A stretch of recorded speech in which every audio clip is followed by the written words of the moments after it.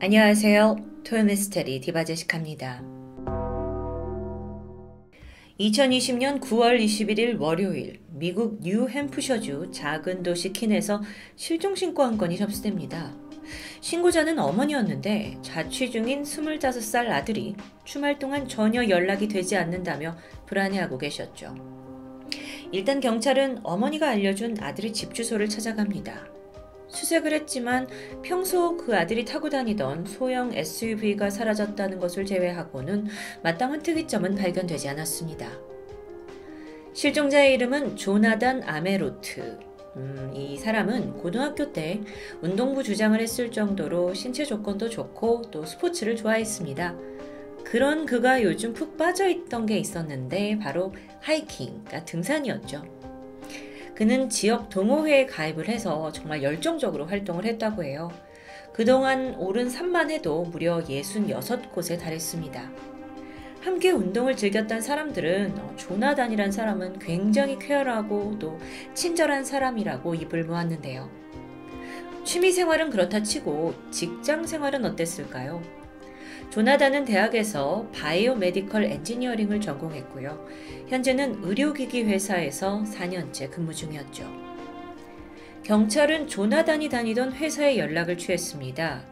예상대로 그는 무단 결근 상태였어요. 근데 평소에 워낙 성실한 사람이라 회사에서도 좀 놀라고 있었는데 혹시 주말 사이에 하이킹을 갔다가 사고를 당한 건 아닐까요? 불길한 예감이 엄습하던 그때 경찰은 회사로부터 또 다른 제보를 하나 듣게 됩니다. 사실 이날 회사에 나오지 않은 또 다른 직원이 한 명 더 있다는 거예요. 근데 그 사람이 평소에 조나단과 꽤나 친한 사이였다고 하는데요. 같은 회사에서 6년째 근무 중인 31살의 여성 브리트니 베런. 우연의 일치일지 몰라도 그녀도 이날 회사에 나오지 않았습니다. 근데 이게 무단 결근은 아니었고요. 당일 아침에 회사에 전화를 걸더니 갑자기 사직을 통보한 상태예요. 근데 좀 이상합니다. 그 전까지 전혀 퇴사의 기미도 없었고, 뭐 회사 생활에 문제가 있던 것도 아니었기 때문이죠. 갑작스러운 사직 통보, 이상하죠. 그래서 수상함을 느낀 경찰이 주변인들을 한 명씩 한 명씩 탐문하던 중 한 동료에게서 예상치 못한 정보를 또 하나 입수합니다. 사실 조나단과 브리트니가 단순한 동료 관계가 아니라 연인 관계일 수도 있다라는 이야기였죠. 근데 뭐 사내 연애가 그렇게까지 쉬쉬할 일은 아니잖아요. 근데 문제는 따로 있었죠. 브리트니가 이미 남편과 두 명의 자녀가 있는 기혼 여성이라는 점입니다. 경찰은 서둘러 브리트니의 집으로 향했어요. 그리고 배를 눌렀는데 경찰을 맞이한 건 브리트니의 시어머니였죠. 그래서 그 시어머니가 아들하고 내 며느리는 지난 토요일 밤에 이미 캠핑을 떠났다고 말합니다. 어라? 도대체 무슨 상황일까요? 경찰은 이번에 브리트니의 남편 아르만도에게 연락을 시도했습니다. 마침 전화를 받았어요. 그런데 아르만도는 또 한 번 의외의 답변을 하는데 자기는 지금 아내가 어디 있는지 모른다는 겁니다. 어떻게 된 걸까요? 지난 토요일 밤 부부가 함께 집을 나선 건 맞습니다. 그런데 가던 길에 부부싸움을 했고 결국 새벽에 아내를 길가에 내려주고 자기는 혼자 이동했다라는 남편의 설명. 그러면서 아내는 아마 친구들과 함께 캠핑을 갔을 거라고 말해줬죠. 흠. 그날 오후 브리트니의 행적이 포착됩니다. 친구들에게 의미심장한 문자를 보내는 거예요. 자신은 다른 지역에 사는 여동생을 만나러 갈 거고 곧 이 동네를 떠날 거라는 통보의 내용입니다. 근데 이 문자가 오전 11시부터 오후 4시까지 브리트니 주변에 있는 많은 사람들에게 일괄적으로 보내졌어요. 아, 갑작스러운 퇴사에 또 동네를 떠날 거라는 이 암시까지 정말 모든 게 수상하죠. 다음 날인 9월 22일입니다. 조나단이 사라진 이 킨이라는 도시에서 차로 4시간 30분 정도 떨어진 산골 마을 에롤이란 곳입니다. 이 숲속에서 사냥을 즐기고 있던 무리들이 낯선 광경을 목격해요. 한 여성이 차를 세워놓고 막 정신없이 서성거리고 있는데 뭘 차림새로 봐서 야영을 하려는 것 같았습니다. 뭐 주변에 여러 뭐 방수포 같은 자재들이 어지럽게 널려 있기도 했고요. 사냥꾼들이 그녀에게 다가갔어요. 그리고 이 지역은 언제든지 야생 곰이 나올 수 있다. 그러니까 캠핑을 해서는 안 되는 안전한 곳이 아니다라고 만류하게 되는데요. 실제로 그녀가 있던 곳에서 불과 100m 이 근방에 곰을 잡기 위해 미끼가 이미 던져져 있는 상황입니다. 아니 이런 상황 속에서 여자는 요지부동이에요. 오히려 뭐좀 얼이 빠진 듯 약간 넋이 나간 듯 보였습니다. 그래서 이 사냥꾼 무리들이 그녀를 좀 유심히 살펴봤죠. 그랬더니 얼굴 이곳저곳에 심하게 구타당한 듯 멍이 보입니다. 그래서 사람들이 도대체 무슨 일을 당한 거냐라고 걱정을 하는데 한참을 망설이던 여자가 그제서야 입을 열었죠. 저 문제가 좀 생겼어요. 이후 즉각 산림사무소에 연락이 취해졌고 얼마 후 지역경찰이 현장에 도착합니다. 이 여성이 타고 온 차는 소형 SUV였습니다. 내부를 살펴보는데 심상치 않아요. 혈흔으로 보이는 얼룩들, 그리고 미처 지우다만 자국까지. 분명 일상적이지 않은 어떤 사건이 일어났을 만한 아주 섬뜩하고 기이한 풍경이었습니다. 관리국 직원들이 일단 차를 좀 옮기자면서 주변을 살피게 되는데 한쪽 냇가에서 방수포에 쌓여진 어떤 것을 목격합니다. 가까이 가보니 그것은 머리가 없는 시신이었죠. 그리고 얼마 후 그 잘린 머리는 냇가에서 멀지 않은 구덩이에서 발견됩니다. 그건 실종된 조나단의 것이었죠. 그렇다면 이 현장에서 얼굴에 멍든 채 발견된 여성은 동료 브리트니입니다. 그런데요. 현장에서 발견됐을 당시 브리트니는 장전이 된 총을 가지고 있었어요. 그럼 정황상 조나단을 총으로 쏴서 살해하고 시신을 유기하려고 했던 걸까요? 브리트니는 즉각 체포됩니다. 상황이 다 그녀를 범인으로 지목하고 있었는데 브리트니는 강력하게 부인합니다. 그러면서 더 놀라운 사실을 털어놓게 되죠. 시간은 지난 9월 19일 토요일로 거슬러 올라갑니다. 여유로운 토요일 주말 저녁, 브리트니는 목욕을 하고 있었고요. 침실에는 그녀의 남편 아르만도가 있었습니다. 그런데 바로 그때 남편이 무심코 아내의 휴대전화를 통해 충격적인 사실을 발견해요. 아내가 낯선 남자와 직장 동료와 사랑을 속삭이던 메시지들이었죠. 하나하나 읽어보니까 뭐 이혼을 계획한다, 사랑한다, 어쩌고 저쩌고 여러 내용이 담겨 있었습니다. 남편은 걷잡을 수 없는 분노에 휩싸였겠죠. 이때 그는 화를 참지 않았고 곧장 욕실로 들어가서 브리트니를 손 닿는 대로 구타하기 시작했습니다. 그리고 침실로 끌고 나와서 폭행이 이어졌죠. 이 과정에서 브리트니는 왼쪽 어금니가 부러졌고요. 목이 졸려서 기절하기도 했습니다. 그런데도 불구하고 뭐 아르만도는 전혀 화를 시킬 기미가 없었어요.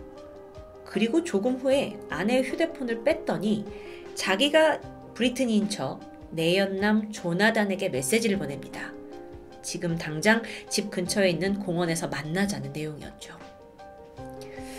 이후에 아르만도는 이제 간신히 정신을 차린 아내를 데리고 트럭에 태우고 공원으로 향했습니다. 거기서 이제 끝장을 보겠다는 생각이겠죠. 근데 가는 동안에도 남편의 구타는 계속 이어졌다고 해요. 밤 11시 30분 마침내 3자 대면이 이루어졌습니다. 그런데 분위기가 살벌했죠. 이 남자한테 뭐라고 하는 게 아닙니다. 아르만도가 아내에게 조나단을 직접 총으로 쏴서 죽이라고 명령합니다. 겁에 질린 이 아내 브리트니가 거절했죠. 난 못한다고. 조나단도 상황을 파악하고 막 혼비백산 도망치려고 합니다. 근데 이때 아르만도가 그를 붙잡아요. 그래서 포박했고요. 조나단이 타고 온 차 트렁크에 그를 감금해버렸죠. 그런데 이게 끝이 아닙니다. 아내 브리트니에게 이 내연남의 손목을 절단하라고 강요합니다. 이렇게 심각한 폭행과 폭언을 계속 들었어요, 브리트니가. 그래서 사실상 브리트니도 뭐 거의 패닉 상태였다고 해요. 그래서 어쩔 수 없이 남편이 시키는 대로 너무 무서우니까 조나단의 손목에 도끼를 가져다 대려고 하는 순간 끝내 못하겠다고 너무 어, 잘못했다고 막 울어버리는데 순간 아르만도가 총을 꺼내 들었고 정확히 조나단의 가슴에 두 발, 머리에 한 발에 총을 발사합니다. 이후 아르만도는 아내에게 조나단의 시신이 실린 SUV를 운전하게 했습니다. 그리고 자신은 자기 차를 몰고 앞장서면서 따라오라고 했죠. 그렇게 두 차는 어디론가 향하게 되는데요. 그 목적지가 바로 어, 그 도시에서 북쪽으로 350km 정도 떨어진 깊은 숲속이었죠. 그곳이 바로 다음날 브리트니가 체포된 곳입니다. 이후 아르만도는 아, 이동 중에 상점이 들러요. 그리고 방수포와 삽, 청소용품까지 구입하죠. 그러니까 시신을 유기할 생각입니다. 그렇게 깊은 산 속에 도착한 후에 이후에 또 보여준 아르만도의 행동은 정말 더 기괴한데요. 지금껏 이제 뭐 손목을 잘라라, 죽여라, 뭐 이걸로도 모자랐는지 아내에게 이미 죽은 조나단의 목을 자르라고 명령합니다. 브리트니는 자포자기한 걸까요? 아니면 이 명령을 따르지 않을 경우 자신도 눈앞에 있는 내연남처럼 죽을 수 있다라는 두려움에 휩싸였던 걸까요? 그녀는 결국 남편의 지시에 따랐습니다. 그래서 내연남의 목을 톱으로 자르게 되는데요. 그러자 남편이 차분하게 한마디 하죠. 이제 내가 너를 용서해 줄게. 브리트니는 남편의 지시에 따라 시신을 묻을 구덩이를 팠습니다. 그리고 신분을 알만한 모든 소지품을 다 불태워버려요. 그렇게 두 사람은 살인과 시신을 은폐하고 있었는데요. 근데 이 과정에서 아르만도가 미처 생각하지 못한 것이 있습니다.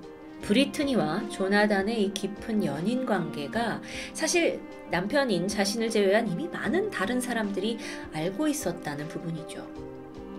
다음 날부터 조나단이 연락이 되지 않으니까 주변 사람들이 다 브리트니에게 연락을 하기 시작합니다. 그래서 이걸 알게 된 아르만도는 아내한테 너 회사 그만둬라 라는 전화를 하게 했고요. 또 주변 사람들한테 아예 이 동네를 떠날 거다 라는 문자까지 보내게 합니다. 사실 굉장히 아이러니하게도 이런 급박한 상황 전개로 인해서 경찰이 브리트니를 더욱더 주목할 수 있었던 거죠. 아르만도 본인은 뭐 본인이 굉장히 치밀하다고 생각했던 것 같습니다.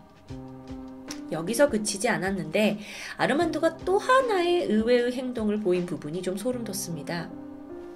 당시 현장에서 브리트니에게 대뜸 그 살인했었던 흉기 권총을 건네주게 돼요. 그러니까 이 상황이 아내가 마음만 먹으면 얼마든지 남편을 죽일 수도 있다라는 걸 암시하게 된 거죠. 그렇게 해서 어떤 안정을 주려고 했던 걸까요? 물론 브리트니는 그 총을 사용하지 않았습니다. 이미 몸과 정신 모두 지배당한 상태였기 때문이었죠. 그런데 실제로 더 섬뜩한 건요. 아르만도가 아내에게 총을 준 이유는 따로 있었습니다. 만에 하나 경찰에 발각될 경우 조나단을 살해한 범인을 아내로 몰기 위해서였죠. 그는 시신 유기를 다 끝내고 이렇게 행동합니다. 여기는 곰이 나오는 곳이라 아주 위험하다. 그러니까 호신용으로 이 권총을 가지고 있어라. 너랑 나랑은 시간차를 두고 빠져나가는 게 좋겠다. 이런 조언을 한 후에 자신만 먼저 호련히 현장을 떠나버린 것이죠. 그리고 얼마 후에 브리트니가 사냥꾼들에 의해서 발견된 상황입니다. 그럼 아르만돈 이걸 피해갈 수 있을 거라고 생각했던 걸까요? 그 역시 바로 다음 날 즉각 체포됩니다. 아내의 내연남을 끔찍하게 죽이고 또 아내를 동원해서 시신을 훼손하고 유기한 정말 상상천외의 잔혹 복수고 법정에선 아르만도는 조나단을 살해한 건 자신이 아니었다. 전적으로 그건 부인이다. 라면서 살인 혐의를 강하게 부인했습니다. 브리트니의 변호인은 그녀가 이제 조나단에게 저지른 행동, 또 손목을 자르려고 하거나 시신을 훼손한 이 모든 것은 다 남편의 협박에 따른 위협이었다라고 주장했고요. 그렇게 첨예하게 두 사람이 부딪히게 되는데요. 2021년 10월 재판이 진행됐습니다. 먼저 브리트니는 사체 손괴 그리고 증거 인멸 혐의로 7년형을 선고받아요. 그렇지만 2022년 4월 전자발찌를 차는 조건으로 결국 가석방이 이뤄졌죠. 법정에서 그녀는 모든 혐의를 인정했습니다. 그리고 매일 후회하고 있다면서 눈물로 참여했는데요.